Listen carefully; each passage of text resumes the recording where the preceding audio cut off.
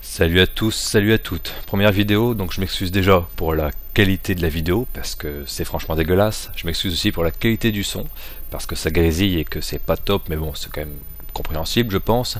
Et je vais aussi m'excuser pour le montage un peu pourri parce que je suis obligé de monter un peu la vidéo étant donné que bah, c'est trop compliqué à expliquer, mais c'est pas grave. Donc vous allez avoir des petites coupures comme ça, mais ça devrait se suivre, ça devrait être à peu près compréhensible.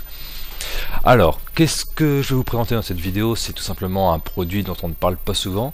C'est une lunette de vision nocturne et j'ai choisi ça pas parce que je trouve ça euh, important d'en avoir une chez soi, hein, c'est même carrément accessoire.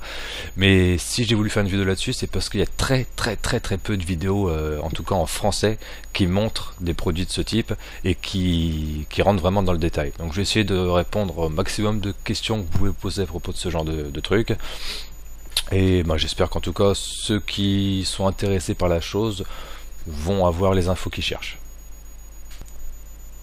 Alors, la lunette en question, c'est euh, une lunette de marque Arma Sight que je ne connaissais pas d'ailleurs. J'ai appris ça, euh, ben, enfin, je l'ai découvert cette marque en achetant euh, ce dispositif.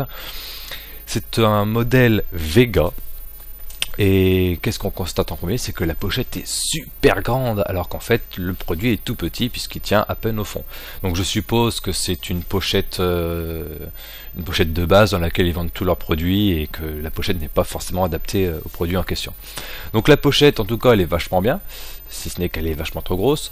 De chaque côté, on retrouve euh, des, des œillets en plastique. Ça va permettre de fixer ça à un sac à dos, par exemple. On retrouve ici de quoi mettre, euh, mettre pardon, un, ceinturon, une ceinture, avec euh, une, petite, attache rapide. Désolé pour le bégaiement, j'ai un peu de mal. Et de, ce côté-là, on va avoir un, cordon, enfin deux cordons, pour faire un nœud autour de la cuisse, pour pas, pour pas que ça se ballotte de trop si vous décidez de marcher avec la, la pochette. Maintenant, on va ouvrir la chose et on va rentrer dans le vif du sujet. Dans la pochette, on retrouve deux compartiments. Un compartiment dans lequel on va pouvoir mettre, euh, ben, moi j'ai mis l'appareil en question, après vous faites ce que vous voulez, et un autre compartiment où vous allez pouvoir mettre, euh, ben, je sais pas moi, euh, les piles, ce genre de conneries. Et on retrouve aussi un petit, comment dire, un petit élastique pour fixer d'autres accessoires si vous en avez.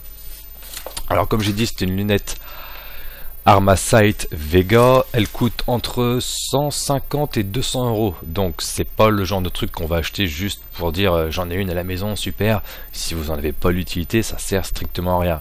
Moi je sais, je m'en sers très peu quand même, mais je m'en sers de temps en temps, donc ça me dépanne. Mais si vous voulez en acheter une juste pour le plaisir de dire je vois tout vert comme dans les films ou dans les jeux vidéo, ça n'a vraiment aucun intérêt. Et voici la bête. Alors, chose euh, très importante, pour moi en tout cas, parce que si je l'ai acheté, c'est qu'elle me plaisait à moi, donc je vais vous dire pourquoi. Chose euh, qui est cool avec celle-là, c'est qu'elle n'a pas de grossissement. C'est-à-dire que vous n'avez pas l'impression de regarder dans une lunette de, tir, vous regardez vraiment euh, comme si vous regardez avec vos yeux. Donc il n'y a pas de grossissement, on peut marcher avec sans être complètement désorienté. Ça, c'est le point positif pour moi. J'en voulais une comme ça et elle remplit parfaitement sa fonction. Ensuite, euh, l'angle de vue est assez important quand même pour euh, un produit de ce type-là, enfin de ce prix-là surtout, parce que 150-200 euros ça peut paraître cher, mais c'est vraiment dérisoire pour euh, quelque chose comme ça. Donc l'angle de vue, si je dis pas de bêtises, est de 35 degrés de mémoire. Je vais vérifier tout de suite dans le manuel, ça va être marqué. ouais, voilà, 35 degrés pour l'angle de vue. Et tant qu'on y est, génération 1+. Alors qu'est-ce que ça veut dire génération 1+. Il y a différents types de génération, euh, on va dire de catégories ou de classes, appelez ça comme vous voulez, ou de types de, vision nocturne. Si je dis pas de bêtises, il y en avoir 4. Donc il y a génération 1, 1+, 2, 3, 4, peut-être même 5, je sais plus en fait. Je suis pas trop expert en la matière, hein, faut, le dire. Et en gros, la génération va vous dire à peu près... Euh, la, puissance de l'appareil. on va expliquer, ça comme ça, ce sera plus simple. Donc génération 1+, c'est ce qu'on trouve dans le, bas de gamme, dans les prix vraiment les plus bas. Et ça suffit largement. Hein. Si vous cherchez ensuite quelque chose de performant, euh, génération 2, 3, là vous allez devoir débourser à peu près 2000 euros. Ça fait quand même un peu cher pour un gadget, surtout si vous en servez euh, deux fois dans l'année. Hein. Autre avantage avec euh, cette, euh, cette vision nocturne, c'est qu'elle est, elle est munie de part et d'autre du corps du produit. Bref, de chaque côté, en gros, vous allez avoir deux attaches. Donc ici, on en voit une, et là, on voit la même ici, qui va servir à pouvoir fixer la lunette sur un rail pour la mettre, comme on voit sur la petite photo là, pour la mettre sur euh, un harnais. Alors c'est plutôt sympa parce qu'on peut on peut s'en servir en main libre, sauf que c'est pas fourni avec. Alors ça je le savais bien sûr, et je m'en fous parce que j'en ai pas besoin moi, hein. mais pour ceux que ça intéresse, le harnais n'est pas fourni avec, possibilité d'en avoir un, mais il faut l'acheter en plus, ça coûte à peu près 30 euros, entre 25 et 30 euros, hein, si mes souvenirs sont bons, donc c'est pas excessif non plus, mais ça, ça rajoute quand même un certain prix à l'appareil qui déjà est assez cher quand même. Au niveau du fonctionnement lui-même, bah il n'y a rien de sorcier. Ça marche par amplification de lumière, comme euh, quasiment bah, tous les dispositifs de vision nocturne. Donc vous avez ici l'objectif où vous allez mettre votre œil, avec une petite bonnette pour, euh, pour bien fermer la lumière. Ici vous allez avoir une bague pour la mise au point, comme sur euh, une paire de jumelles par exemple. Et ici vous allez avoir la lentille alors vous avez un cache protecteur dessus qu'on peut enlever ou retirer avec un tout petit trou. L'intérêt de ce cache protecteur, c'est parce que cet appareil fonctionne par amplification de lumière. Donc ne jamais, si vous en achetez un plus tard et que vous n'êtes pas trop renseigné sur la chose, sachez qu'il ne faut jamais allumer un appareil de ce type-là et le pointer vers une source lumineuse, parce qu'il va amplifier la source lumineuse et ben, en gros ben, il va être cramé et ça ne fonctionnera plus. Donc si vous voulez l'allumer en plein jour, pour voir si ça fonctionne, vous laissez la, bonnette de protection, il y a un tout petit trou dedans, il y aura à peine assez de lumière qui va rentrer et vous pourrez quand même voir avec, aucun intérêt puisque ça fonctionnera en plein jour, hein. mais au moins vous verrez si euh, ça s'allume, si ça s'éteint, et s'il fonctionne correctement. Donc ça, ça sert à protéger euh, la lentille, mais ça sert surtout aussi à, par exemple, vous vous baladez, il y a une bagnole qui arrive et qui, commence à cracher, euh, à cracher les watts avec ses phares, vous mettez ça dessus, vous êtes sûr que votre appareil ne sera pas abîmé.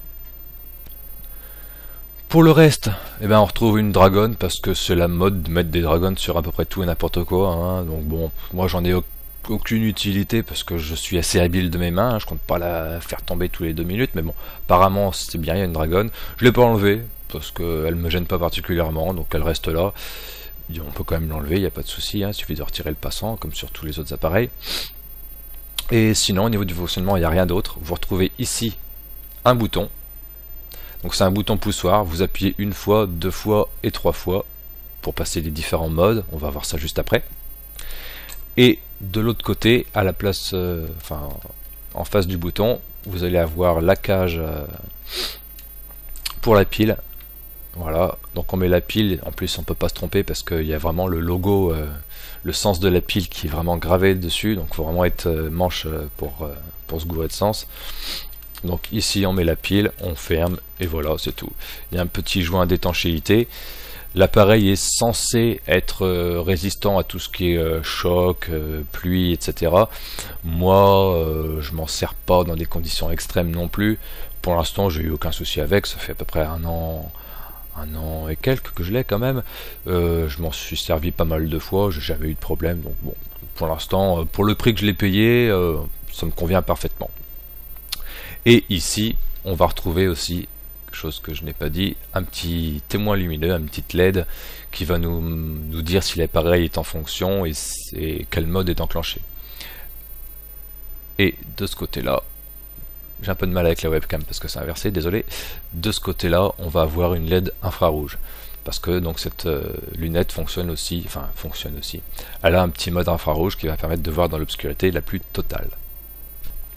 Alors comme je l'ai dit, c'est un appareil qui amplifie la lumière, c'est-à-dire que si vous êtes dans une zone, par exemple vous êtes en, pleine campagne et qu'il y a des étoiles, euh, un petit peu de lune et puis qu'il n'y a pas trop de nuages, euh, vous allez avoir euh, assez de lumière résiduelle pour pouvoir voir correctement en pleine campagne. Par contre, si vous êtes dans un endroit complètement clos, sans aucune source de lumière, par exemple vous êtes dans, une, dans un placard à balai, là il n'y aura pas de lumière du tout. Et du coup, bah, il n'y aura rien à amplifier. Vous verrez noir quand même. Enfin, vous verrez tout vert, mais noir-vert. Donc pour remédier à ça, vous avez une petite diode infrarouge qui va bah, émettre de la lumière infrarouge. La lumière infrarouge est invisible à, l'œil humain. Et cette euh, lumière, eh ben, elle va pouvoir être captée par l'appareil, vous allez voir. Donc en gros, vous allez, ça va donner l'impression d'éclairer avec une lampe torche invisible. Et avec ça, vous allez pouvoir la voir, cette lampe torche. Voilà. Donc c'est sympa. Ça fonctionne vachement bien quand même. Hein. Euh, on pourrait croire que c'est tout petit, que c'est du gadget, mais ça fonctionne quand même vachement bien. Donc il n'y a rien à dire. Ça fait le boulot, c'est pas trop cher. Et puis voilà. Une chose importante dont je n'ai pas parlé, c'est la pile. Alors euh, la pile c'est celle que j'ai d'origine depuis que j'ai l'appareil.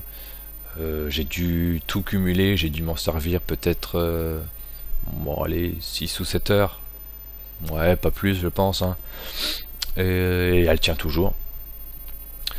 Ce que je vous conseille si vous achetez ce genre d'appareil ou même n'importe quoi d'autre, c'est d'acheter des piles euh, comme ça. Donc c'est une pile, c'est du CR123, c'est les genres de piles qu'on trouve dans les appareils photo et, pas mal de, trucs du style euh, caméscope, euh, des piles vraiment assez spéciales qui sont assez casse-couilles et assez chères d'ailleurs, c'est à peu près 10 euros une pile comme ça.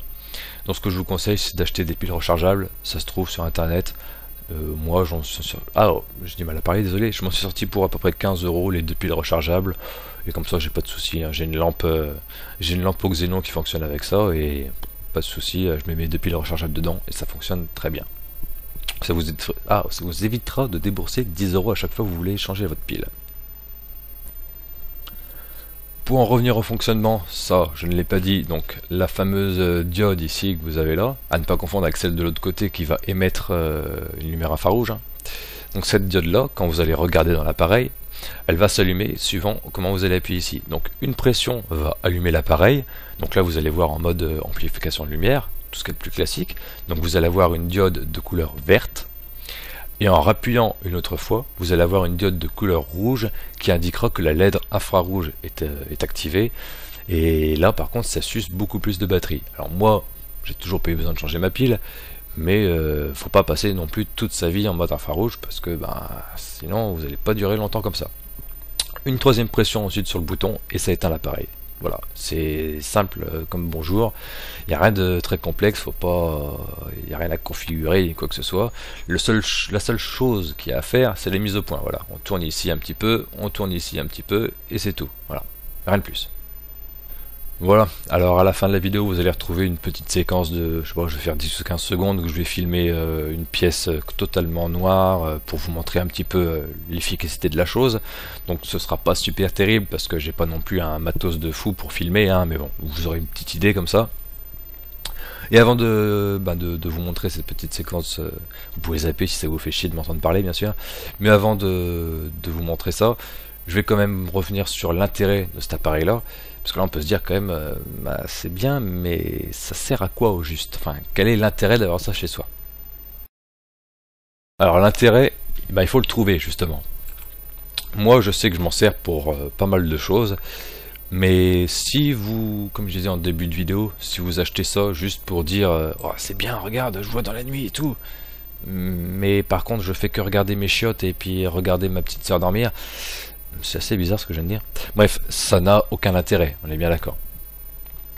Alors l'intérêt de ce truc-là déjà, c'est de voir sans être vu. C'est pour ça que ça a été créé quand même au départ, surtout dans le domaine militaire. Donc l'intérêt, c'est de pouvoir voir, comme on est, on va dire comme en plein jour, hein, parce qu'avec ce genre de matos-là, c'est pas du tout du matos euh, de niveau militaire. Hein. Avec ça, on voit pas comme en plein jour non plus, mais on voit quand même pas mal. Donc l'intérêt, c'est de voir comme en plein jour, et surtout de pas être vu.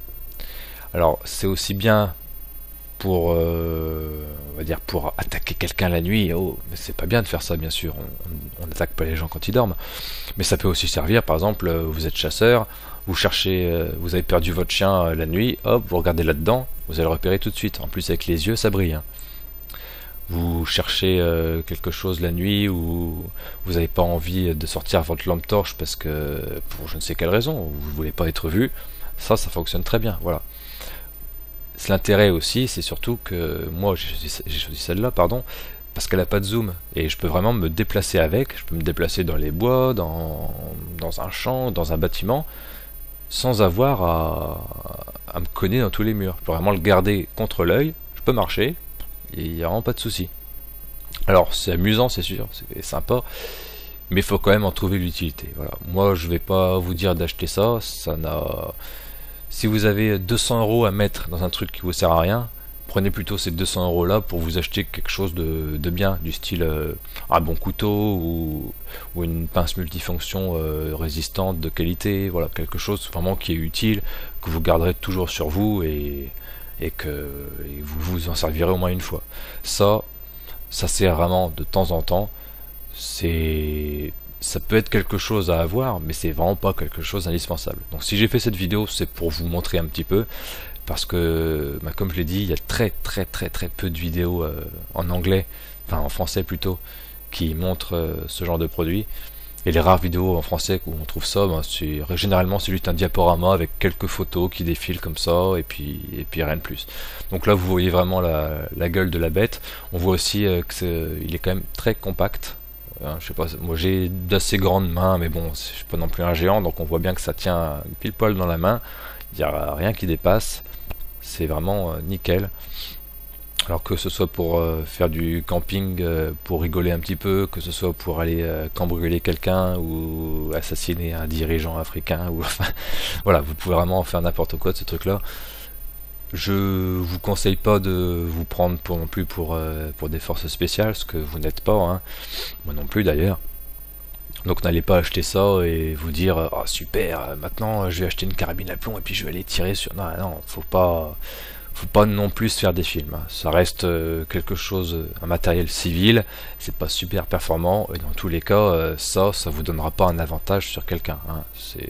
Ça donne un petit avantage sur un avantage tactique, on va dire mais au-delà de ça, euh, il n'y a pas quelqu'un qui, il a pas quelqu'un qui va faire euh, le coup du siècle parce qu'il a une lunette de vision nocturne. Faut pas non plus euh, abuser. Hein. Ah ah ah, dernier point avant de se quitter. J'ai pas pensé à vous le dire, mais ça, paraît quand même assez intéressant. Au niveau du poids, 250 grammes. Voilà. Donc c'est vraiment super léger. C'est peut-être que ça peut paraître assez lourd, assez imposant comme ça, mais ça pèse que 250 grammes. Donc que ce soit dans une poche ou euh, à la ceinture ou autour du cou, euh, c'est vraiment pas gênant. Hein. Vous pouvez vraiment le traîner partout avec vous et logiquement c'est résistant. Moi je l'ai, je l'ai pas fait subir non plus des, choses terribles, hein. Mais il est sorti pas mal de fois. Euh, il a pris là un peu la flotte, tout ça la poussière, euh, vraiment, il n'y a, pas de, problème, euh, c'est résistant. Hein.